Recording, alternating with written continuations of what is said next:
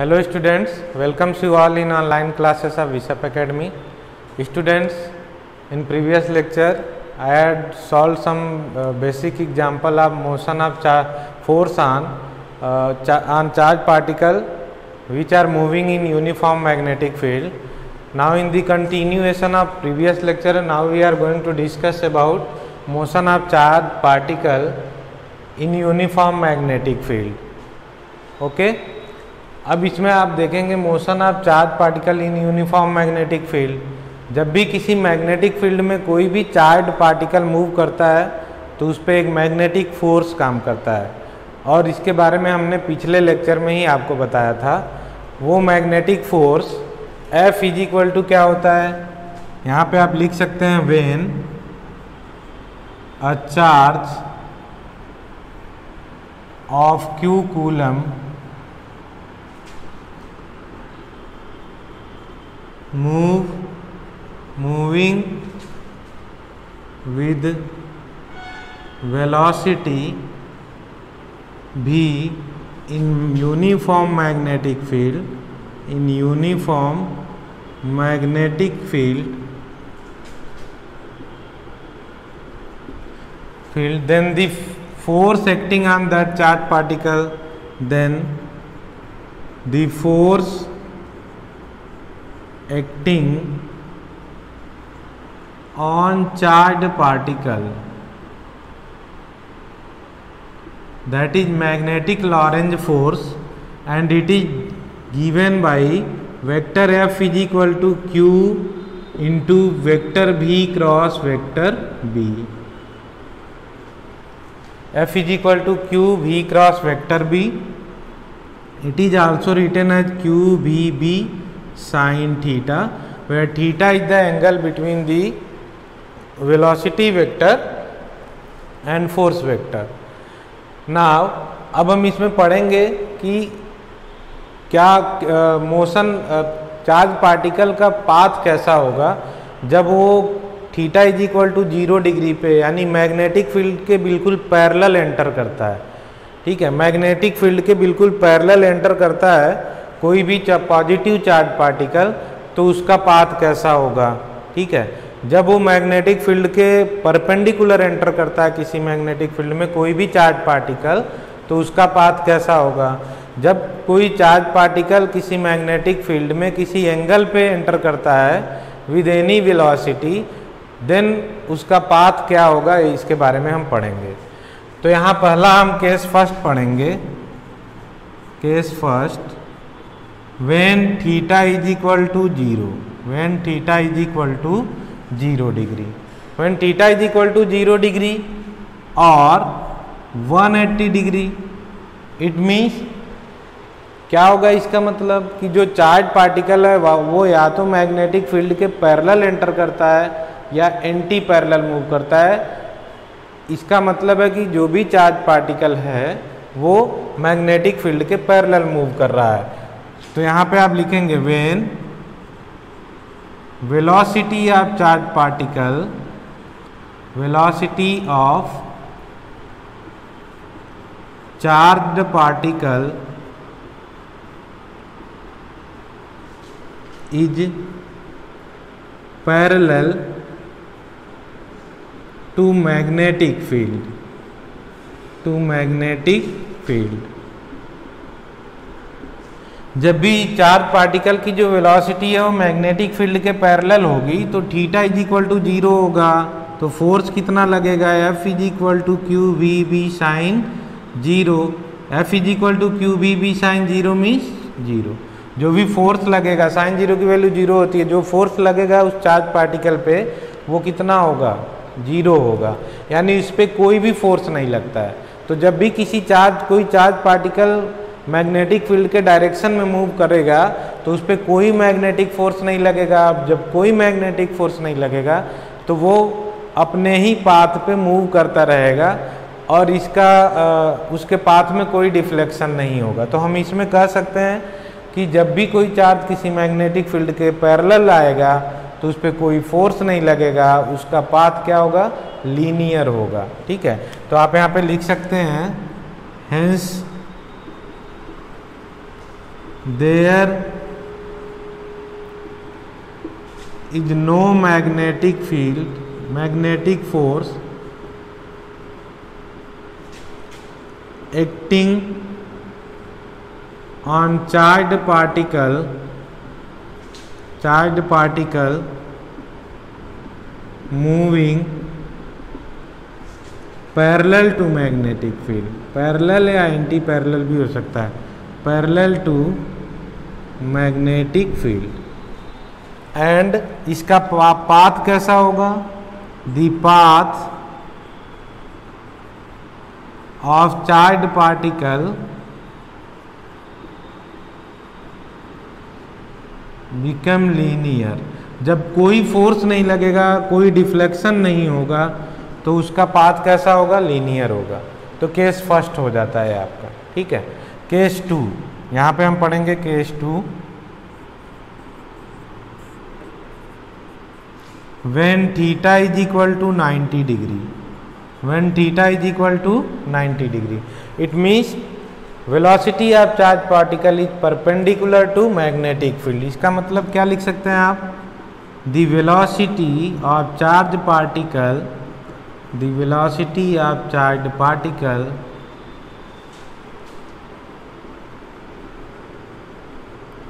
is perpendicular to magnetic field magnetic field जब भी कोई चार्ज पार्टिकल किसी वेलोसिटी से मैग्नेटिक फील्ड के परपेंडिकुलर एंटर करता है तो उसका पाथ कैसा होता है उस पर फोर्स कैसा लगता है इसके बारे में हम पढ़ेंगे तो इस समय देखिए when theta is equal to zero degree then F is equal to q v b sine ninety and at this time जो भी मैग्नेटिक फोर्स उस पर काम करता है वो मैक्सिमम होता है हमने बताया है इसे क्यू बी बी का एक फोर्स मैग्नेटिक फोर्स काम करेगा जो मैग्ने क्या होगा मैक्सिमम वैल्यू पे होगा अब देखिए यहाँ पे इसको समझने की कोशिश करते हैं सपोज दैट कि जो यूनिफॉर्म मैग्नेटिक फील्ड है वो इनसाइड दी प्लेन है इनसाइड दी प्लेन है इस प्रकार से क्रॉस साइन से हम मैग्नेटिक फील्ड को इंडिकेट कर रहे हैं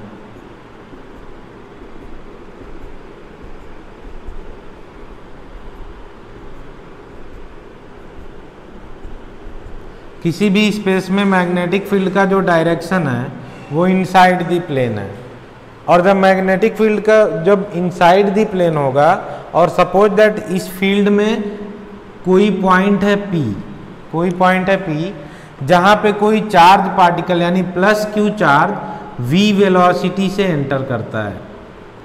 इसकी वेलोसिटी क्या है वी इस डायरेक्शन में एंटर करता है परपेंडिकुलर डायरेक्शन में ओके अब यहाँ पे दे, ध्यान देना है आपको अगर ये प्लस चार्ज है ठीक है अगर ये प्लस चार्ज है कोई प्लस क्यू चार्ज है और जैसे ही ये किसी पॉइंट पी पर परपेंडिकुलरली एंटर करता है मैग्नेटिक फील्ड में तो आप पढ़े होंगे इस पर फोर्स तो किधर लगेगा तो राइट हैंड थंब रूल से बता सकते हैं if our finger tips of the finger indicates the direction of magnetic field thumb indicate either the current or the direction of velocity of positive charge then palm indicates the force acting on that particle तो यहाँ पे inside the plane है तो इन tips of the finger को हम inside करेंगे positive charge इस डायरेक्शन में मूव कर रहा है आप देख रहे हैं वेलोसिटी के डायरेक्शन में हम ये आपकी वेलोसिटी है इसके डायरेक्शन में हम पॉजिटिव चार्ज को करेंगे तो थॉम भी ऊपर की तरफ इंडिकेट पाम ऊपर की तरफ इंडिकेट कर रहा है देख रहे हैं यानी यहाँ पे इस पर फोर्स लगेगा ऊपर की ओर ये जो मैग्नेटिक फोर्स लगेगा ये ऊपर की ओर लगेगा अप साइड लगेगा और इस फोर्स के का due to this force the path deflected ये चार्ज पार्टिकल है जो अपने पाथ से डिफ्लेक्ट होगा और इस प्रकार से मूव करेगा ओके सपोज दैट यहाँ पे कोई पॉइंट क्यू है जहाँ वेलोसिटी अगर हम रेडियली देखें तो इस डायरेक्शन में होगा यहाँ पे फोर्स किधर लगेगा फिर राइट हैंड पाम रूल लगाएंगे इनसाइड मैग्नेटिक फील्ड में हम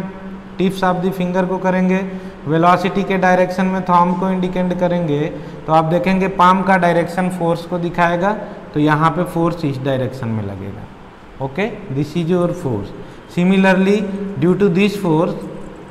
this charge particle move on a curved path तो यहाँ पे इस प्रकार से मूव करेगा यहाँ पे जब पहुँचेगा तो इसकी वेलोसिटी इधर होगी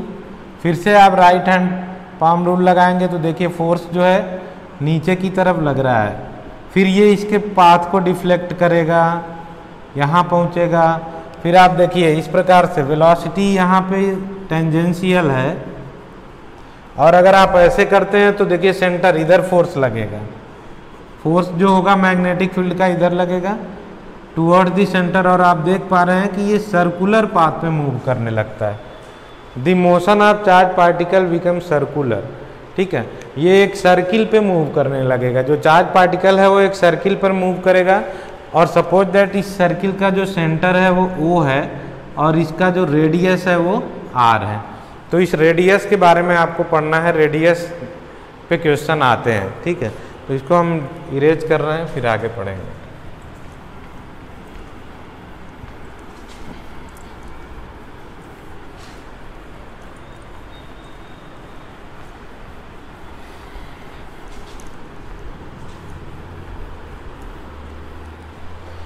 देखिए जो फोर्स का डायरेक्शन है वो आप फ्लेमिंग के लेफ्ट हैंड रूल से भी बता फाइंड आउट कर सकते हैं फ्लेमिंग लेफ्ट हैंड रूल क्या है force magnetic field and velocity or current तो यहाँ पे आप इसको सबसे पहले मैग्नेटिक फील्ड की ओर इंडिकेट करेंगे थॉम्ब को और इंडेक्स फिंगर को इस प्रकार से वेलोसिटी के डायरेक्शन में आप देखिए हमारा मिडिल फिंगर है तो थॉम्ब फोर्स को इंडिकेट करेगा कहीं पे भी जाएंगे आपको इस प्रकार से आप देख सकते हैं ठीक है तो ये सर्कुलर पाथ पे मूव करेगा अब यहाँ पे जब कोई भी पार्टिकल कोई भी ऑब्जेक्ट सर्किल में मूव करता है सर्कुलर पाथ में मूव करता है तो उस पर एक फोर्स लगता है सेंट्रीपिटल फोर्स और आप पढ़े होंगे centripetal force is not a fundamental force ये कहीं ना कहीं से प्रोवाइड हो जाता है तो सेंट्रीपिटल फोर्स कहाँ से आ, गेन करेगा ये चार्ज पार्टिकल ये इस मैग्नेटिक फील्ड से गेन करेगा तो यहाँ पे आप लिखेंगे F M is equal to Q B B then यहाँ पे आप देख पा रहे हैं कि चार्ज पार्टिकल का जो पाथ है वो सर्कुलर होगा तो सिमिलरली आप लिख सकते हैं in this case in this case the path of the charged particle the path of the charged particle became circular यानी एक सर्कुलर पाथ पे मूव करेगा ये ये जो चार्ज पार्टिकल है जब भी परपेंडिकुलर एंटर करेगा मैग्नेटिक फील्ड के तो एक सर्किल में मूव करेगा सर्कुलर पाथ में मूव करेगा और इस सर्कुलर सर्कुलर पाथ पे मूव करने के लिए जो रिक्वायर्ड सेंट्रीपिटल फोर्स है जो भी रिक्वायर्ड सेंट्रीपिटल फोर्स होगा वो इस मैग्नेटिक फोर्स से ही मिलेगा मैग्नेटिक फोर्स ओके अब if mass of the charge particle is M velocity is V and radius of the cir circular path is r then centripetal force is equal to mv square by r and magnetic force acting on this charged particle is qvb then we can write mv square is equal to qvb the power of velocity will cancel out here and you will get r is equal to qb upon sorry r is equal to mv upon Q B R is equal to M B upon Q B इस पर numerical आते हैं यह है radius of circular path radius of circular path R is equal to M B upon Q B यहाँ से आप देख सकते हैं जो रेडियस है जो सर्कुलर पाथ का रेडियस है वो इन्वर्सली प्रोपोर्शनल है चार्ज के इन्वर्सली प्रोपोर्शनल है चार्ज के when magnitude of charge increases then radius decreases जब भी चार्ज की वैल्यू बढ़ेगी रेडियस छोटा होता जाएगा इसके साथ साथ R is also in inversely proportional to magnetic field magnetic field जब आप इंक्रीज करेंगे तो रेडियस डिक्रीज करेगा यानी सर्किल कम रेडियस के सर्किल पे मूव करेगा और ये भी आप देख पा रहे हैं R is directly proportional to velocity है ये वेरी वेरी इंपॉर्टेंट है R is directly proportional to velocity when velocity of charge particle increases then radius of that charge particle is also increases जब भी चार्ज पार्टिकल की velocity बढ़ेगी तो radius बढ़ बढ़ जाएगा यानी वो बड़े पाथ पे मूव करेगा ठीक है जैसे सपोज दैट कोई चार्ज पार्टिकल है जब उसकी वेलोसिटी v1 है तो वो r1 रेडियस के सर्किल में मूव कर रहा है इस प्रकार से r1 सर्किल की रेडियस में मूव करेगा v1 वेलोसिटी पे और if v2 is greater than v1 कर देते हैं इसका मतलब वेलोसिटी इंक्रीज करेंगे तो वेलोसिटी इंक्रीज करेंगे तो रेडियस भी इंक्रीज करेगा तो यहाँ से वेलोसिटी इंक्रीज करने पर जो इसका सर्किल का टोटल सरकम होगा वो बड़ा हो जाएगा यानी इसका रेडियस भी बड़ा हो जाएगा तो अभी आप आगे पढ़ेंगे टाइम पीरियड तो आप देखेंगे कि वेलोसिटी के इंक्रीज करने पर भी टाइम पीरियड पे कोई इफ़ेक्ट नहीं आता है टाइम पीरियड वही रहता है वन कंप्लीट रिवोल्यूशन में जो टाइम लग रहा है चाहे आप वेलोसिटी बड़ा करें या छोटा करें वो अनचेंज रहता है ठीक है क्योंकि जैसे ही वेलोसिटी बढ़ेगा तो path of this circular path radius जो है और बड़ा हो जाएगा ठीक है अब यहाँ पे देखिए इसको थोड़ा और एक्सटेंड करते हैं अगर आप इसे इक्वेशन नंबर फर्स्ट मानते हैं तो यहाँ पे देखिए अगर हम इसे काइनेटिक एनर्जी के फॉर्म में भी लिखना चाहते हैं तो आप लिख सकते हैं the kinetic energy if the kinetic energy if the kinetic energy of charged particle particle is k then k is equal to half mv square hoga k is equal to half mv square यहाँ से आप क्या निकाल सकते हो velocity v is equal to आएगा square root of two K by M V is equal to square root of two K by M now from the equation first equation first में value रखेंगे तो आपको मिलेगा radius is equal to M what is the value of velocity two K upon M whole divided by Q B whole divided by Q B अब ये देखिए यहाँ पे ये जो m है वो स्क्वायर रूट के अंदर जाएगा तो ये एम स्क्वायर हो जाएगा एम स्क्वायर और m से इसका एक पावर कैंसिल हो जाएगा तो आपको मिलेगा यहाँ पे नया एक्सप्रेशन मिल जाएगा रेडियस का वो होगा root of two K M upon Q B root of two K M upon Q B ये भी हो जाता है एक एक्सप्रेशन इस इससे इस पे भी न्यूमेरिकल आते हैं R is equal to root R two K M upon Q B okay again if any charge particle moves under the influence of a potential difference V then kinetic energy K is equal to Q into V आप पिछले chapter में पढ़े होंगे जब भी कोई charge particle भी potential difference के अंडर मूव करता है तो उसकी जो काइनेटिक एनर्जी होती है वो Q इंटू भी हो जाती है और जब ये K is equal to Q into V होगा तो अब आप इक्वेशन सेकेंड में देखिए from equation second then R is equal to value आप के आप पुट कर सकते हैं two Q V M upon Q B okay ये आ जाएगा आपका अब यहाँ देखिए Q को स्क्वायर रूट के अंदर लेके जाइए जब भी आप Q को स्क्वायर रूट के अंदर लेके जाएंगे तो आपको मिलेगा R is equal to one upon B okay square root of two Q V M upon Q square upon Q square ये क्यू स्क्वायर रूट के अंडर जाएगा तो आपको मिल जाएगा क्यू स्क्वायर यहाँ से क्यू से एक पावर कैंसिल होगा तो रेडियस मिलेगा one upon B root of two M V upon Q root of two M V upon Q ये मिल जाता है आपका equation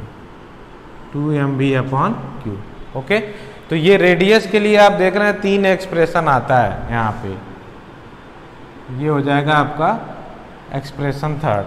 तो ये आ जाता है टोटल रेडियस के लिए एक्सप्रेशन ओके इसको आप नोट करिए आगे देखते हैं